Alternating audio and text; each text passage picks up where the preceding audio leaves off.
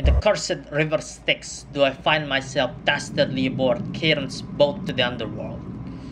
This Charon fellow, is he a tough bloke? Is he smart? I have to find a way to get out of here. Oi, Charon!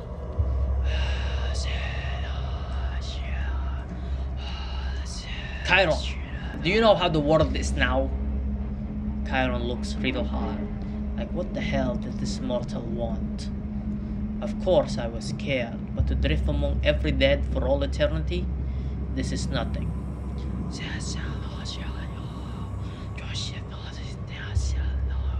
I can't understand Charon, but it seems like he understands me, so I continue. Charon, do you know that perhaps the biggest problem in the world today is hunger? Well, no, I didn't know that. What?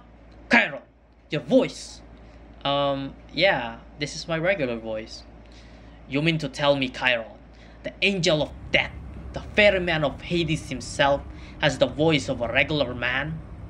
Uh, yeah, this is really my voice. That's why I try and look scary. To be honest, this is not really my style. Hades forced me into it, and this sight this just a props. This isn't even sharp. Whoa, whoa, whoa, whoa. Okay. Regress. I understand. But do you really want to know? Yeah. I I guess so. Alright, alright. The United Nations has the sustainable development goals. The United what? The United Nations is a thing that we created at World War II. World War II? Alright, it doesn't matter. Just know that they're the good guys.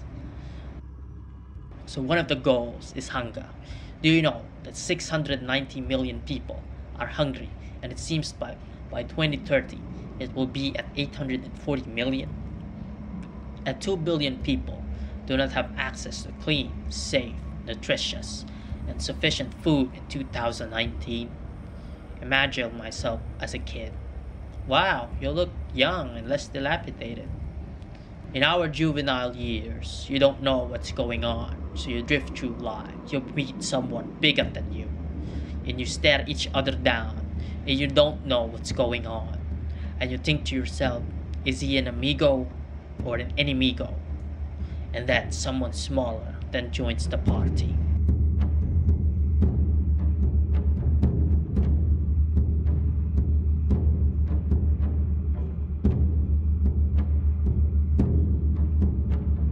It's a dog eat dog world out there.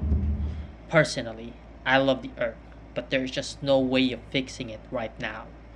All we can do is the three R's. Three R's?